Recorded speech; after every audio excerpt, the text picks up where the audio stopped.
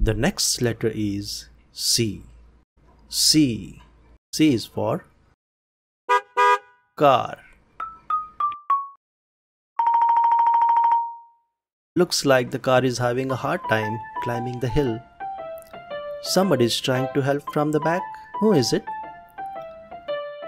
It's a cat. Cat starts with C. Hey, look, someone else is also coming to help. Who is it? It's a cow. Cow also starts with C.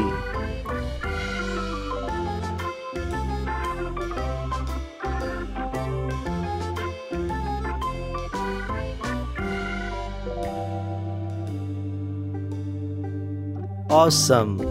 The car has reached the top. Let's see who's driving the car. That's me. I am driving the car. Thank you, Miss Cat and Miss Cow, for your help today.